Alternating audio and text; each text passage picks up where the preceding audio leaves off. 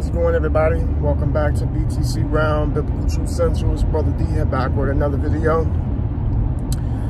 You know something? When I started this YouTube channel many, many, many, many years ago, I originally began it because I couldn't comment on videos without having some sort of an account. YouTube won't let you comment without making an account. So that's what I did didn't dream of putting myself on camera. Didn't dream of talking about any, much of anything. I remember the first couple of times I ever tried to make a video. It was very awkward. It was hard. I was stumbling over my words. And I'm just saying, you know what? Forget this. I can't do this. This isn't for me. So I left it alone for many, many years. And then I came back to YouTube introducing the fitness side of my life. And then I burnt myself out on that, putting that before things that are above, and then I came back one more time last year, 100% dedicating this channel to Jesus Christ. I didn't know how it was going to work out. I didn't know what direction it was going to go. I didn't know. I just had no idea what was going to happen when I started talking about the Lord on this channel. I had no idea. I came out with an intro video of me standing in a field. And I just started saying things, observations of the way that the world is going. And I felt like somebody needed to stand up and to say something. I wouldn't, I wouldn't be the first. There have been many that have come before me preaching, teaching, sharing their faith, professing Christ Jesus as their Savior. Many, many have come before me, but I knew that I could no longer just stand on the fence and do nothing. I could no, no longer call myself a Christian and do nothing. I could no longer call myself a follower of the Lord and do nothing. So I picked up my phone and I went in that field and I started just saying whatever the Holy Spirit put on my, my heart. And it took off from a wildfire from that point. You see, I, I didn't come here to get attention. I didn't come here for any type of fame or nothing like that. No YouTube fame. This is a Christian channel, folks. That It don't work like that in, in, in the world, especially when you talk about the Bible and sin and repentance and Jesus Christ. When you talk about these things, not a very popular thing to do. Not going to win you a lot of friends, but it may most definitely win you some souls. Amen. I don't consider myself to be no prophet or anything of that nature. I don't want that office. But what I am is a God-fearing man who loves Jesus Christ. I'm a God-fearing man who wants to do what he possibly can for the Lord. I'm a God-fearing man who wants to see other people come to Jesus Christ. It's not enough for me to wish. It's not enough for me to pray. But I had to open my mouth.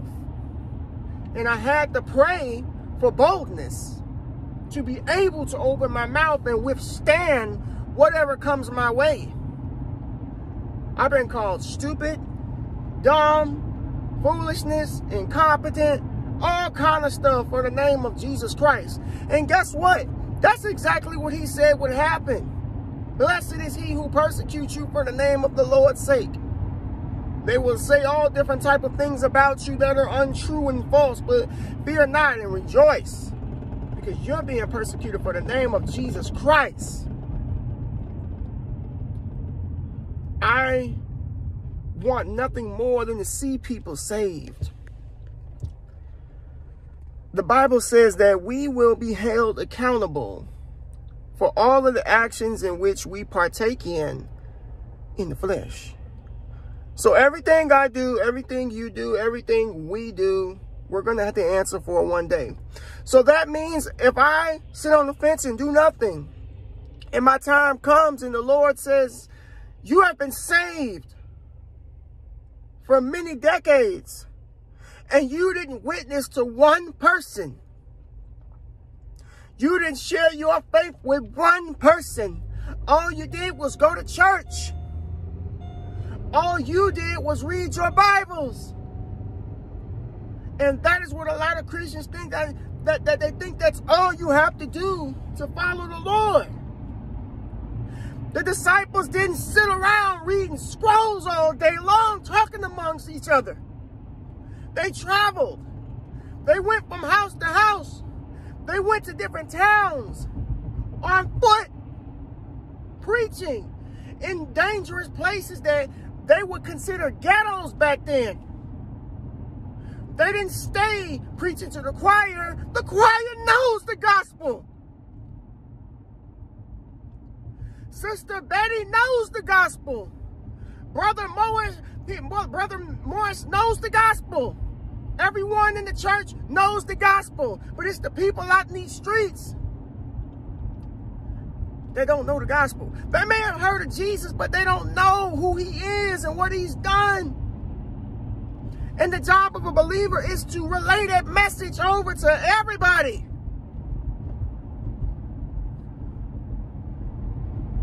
When we are judged and you haven't done anything for the Lord, do you think he's not going to call you out? We will be judged for everything we do.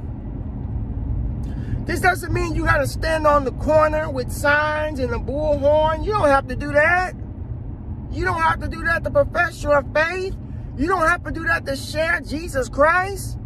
But there's a lot of things you could do that a lot of Christians don't do out of fear that they're going to be judged, fear that people are going to look at them like they're crazy and weird do you not think that's how people looked at Christ?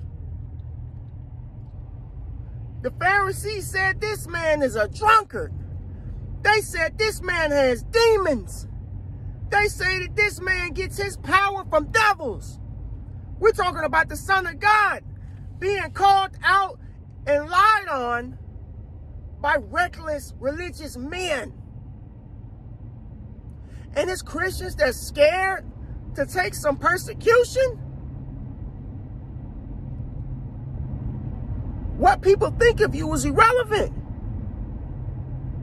It's the message that matters.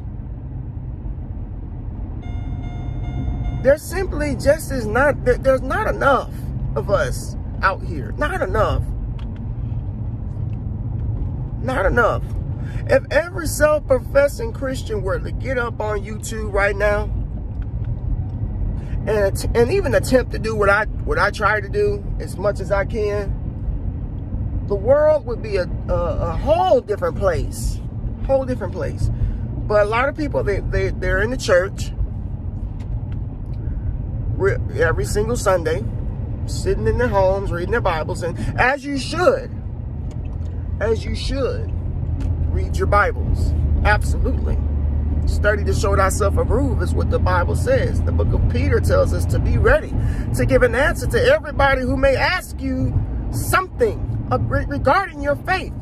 You don't want to be caught without any knowledge. What's more embarrassing to have somebody ask you, uh, ask you a question about what it is you believe and you can't answer it. But if you're studying the scriptures, you don't have to worry about things like that happening to you. Amen? But there has to come a time where you do some work, some real work. Every one of us is called to evangelize.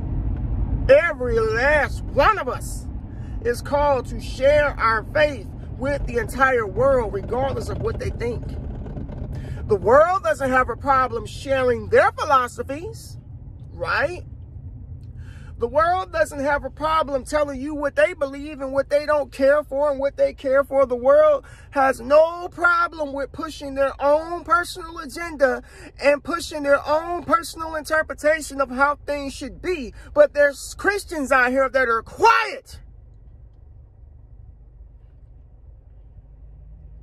Oh, I don't, I don't want such and such to find out I'm sold off for Jesus. Oh, I don't want people to look at me like I'm some religious person or that I'm crazy. Um, if you feel that way about your faith, maybe you don't love Christ.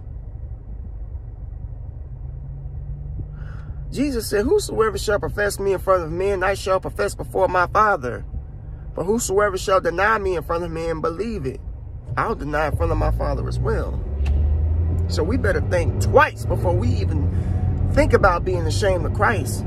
You know, people out here, they won't they won't even wear a t-shirt that says I love Jesus on it without thinking they're gonna get looks and stuff. Let me tell you something, you know that every time I've ever worn apparel that had the name of Jesus on it in some sort of quote, people loved it. People loved it. You know what that told me? That told me that society is a lot more open than people think.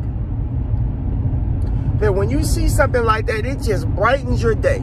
How could you feel bad when you see the name of Jesus Christ somewhere? You see the name of Jesus on a billboard, you feel good. You see Jesus on somebody's hat, you feel good. You see Jesus on a bumper sticker, you feel good. On a license plate, you feel good. On somebody's hoodie or shirt, you feel good. You know why? Because there's life.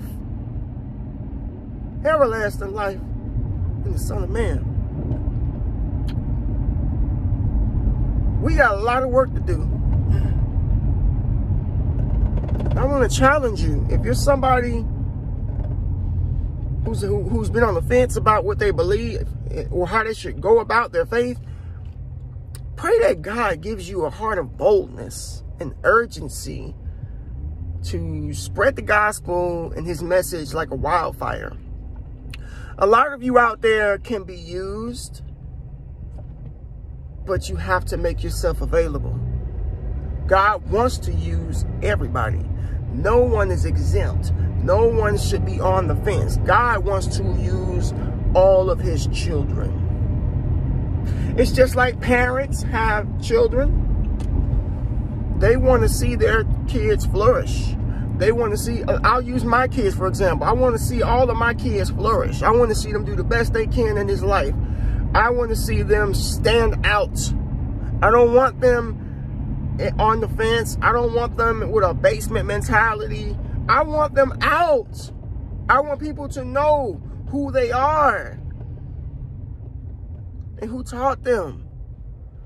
Jesus wants the same thing for us. He wants the world to know the gospel and the hope that comes with it. God bless each and every one of you. Thank you for watching. If you're new, please consider subscribing. More material to come. Peace.